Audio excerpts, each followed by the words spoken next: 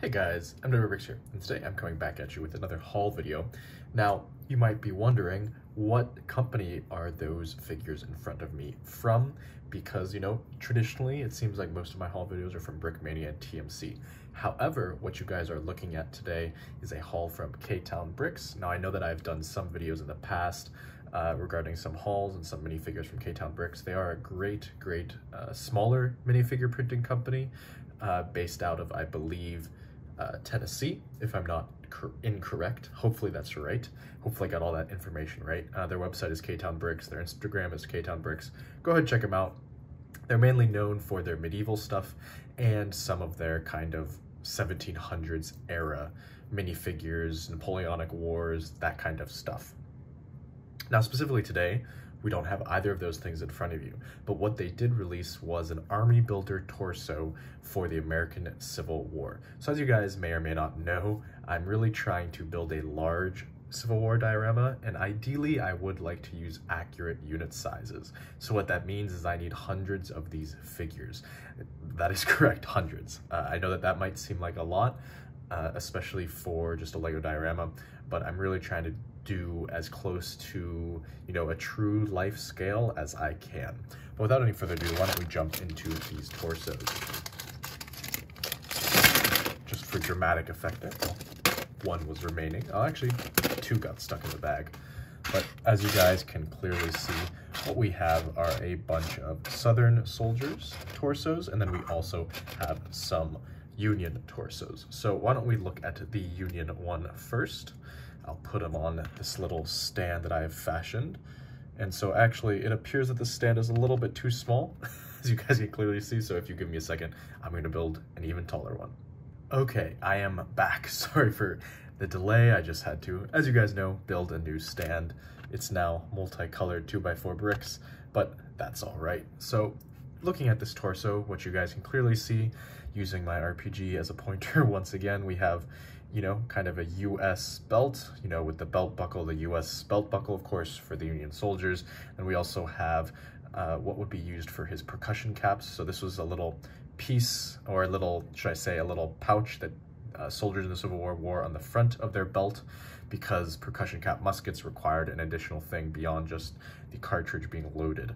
And then we also have, you know, this uh, strap going across the trench, across the chest, should I say, if I can speak English, uh, that this would be carrying the ammunition cartridge pouch. But what you guys might notice is that these are not 360 degree printing, printed, should I say, not printing. Uh, I think that essentially K-Town Bricks is trying to make them the most affordable. So while we do have the strap for the ammo cartridge pouch, we actually don't have the genuine cartridge pouch on the side. So, you know, all those details are fine. We have the gold buttons, as you can see, just a traditional sack coat on the figure. Now, if we go to the back, there's nothing really of note. Uh, if I move this to the front where maybe you can see it a little bit more clearly, you guys can see the cartridge pouch strap continuing across and then his belt as well. And of course, this side doesn't have anything additional because there isn't 360 degree printing. So I think in this haul, I ended up getting six Union bodies and 11 Southern bodies. And essentially, my logic with this is that I'm not going to be needing to get many of these army builders for my Union side because I'm really going to go for full 360 degree printed ones, but I still did want to try them out. So that's why I got some of them.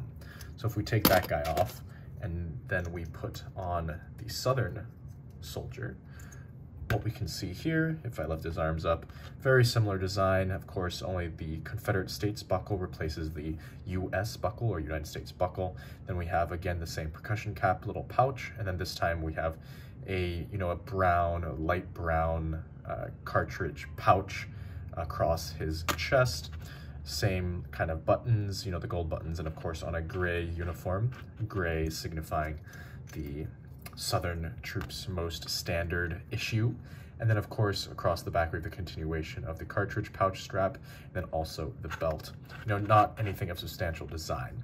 One thing I will note is that it is likely that I'll buy more of these uh, Southern Army Builder torsos that doesn't, you know, don't have the 360 degree printing because I'm not really concerned with making the Southern troops look very, I guess, uh, uniform. As you guys may or may not know in the Civil War, the Southern just industrial capacity was not very high. They didn't have a lot of the textiles and appropriate dyes that they needed to really have a standardized uniform. So a lot of the times guys wore mismatching uniforms. They wore different colors. You know, there was dark tans, tans, just a wide variety of stuff. So I'll probably just use these torsos with a bunch of different colored, just uh, regular purist Lego legs. Uh, and I think that, should actually look pretty good in terms of creating diversity in the ranks of the Southern soldiers for my Gettysburg MOC and for any future MOCs as well. Uh, as I mentioned previously, I got 11 of the Southern ones and 6 of the Union ones. Uh, this was my first order from this era from K-Town Bricks, and I'm excited for this. Uh, I, I, do think that it would be great if K-Town Bricks can release a full 360 degree printed version of their Civil War soldiers, especially the Union ones. I would like that a lot, especially because I really like how K-Town Bricks designs. I think that they have a very nice, essentially, line between making their figures very realistic, but also still look like they're genuine, you know, purist Lego designs. I think they have a good combination of that. But beyond that, I don't really think that there's anything else to add to this, you know, haul video. So as always, guys, like, comment, subscribe to the normal stuff, and I'll catch you next time.